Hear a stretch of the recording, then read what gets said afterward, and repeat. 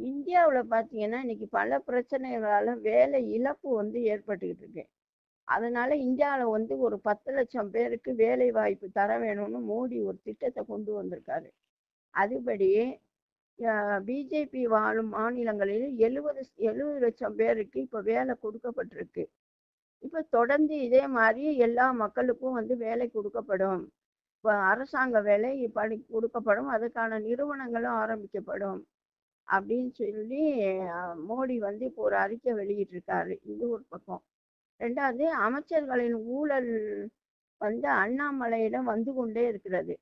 இப்போ வந்து எப்படி அண்ணாமலைக்கு இவ்வளவு விவரம் போகுதுன்னு பார்க்கும்போது, திமுகல உள்ள ஐபிஎஸ், ஐஏஎஸ் அதிகாரிகள் உயர்மட்ட லெவலில் உள்ளவங்க பூரா அண்ணாமலை பக்கம் இருக்காங்க.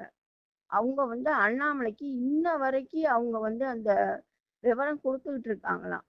அப்ப அண்ணாமலை தேடி எல்லா விவரமும் இவர்ட்ட வந்துடுது. அதனால அவர் ஈஸியா வந்து அண்ணாமலை அவங்கள பத்தி தெரிஞ்சுக்க முடியுது. அப்படின்னு சொல்லி அந்த ஐபிஎஸ் அதி ஐஏஎஸ் அதிகாரிகள்லாம் திமுக ஸ்டாலின் மாத்துனாராம்.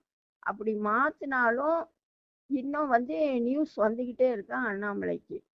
அதனால 2006லேருந்து 2011 வர ஊழல் பட்டியலும் வெளிவரும் அப்படின்னு அண்ணாமலை கூறியிருக்காரு. அதாவது கருணாநிதி ஆட்சி காலத்துல ந நடந்த ஊழல் பட்டியலும் வெளியே கொண்டு வரப்படும் அப்படின்னு அண்ணாமலை சொல்லியிருக்காரு.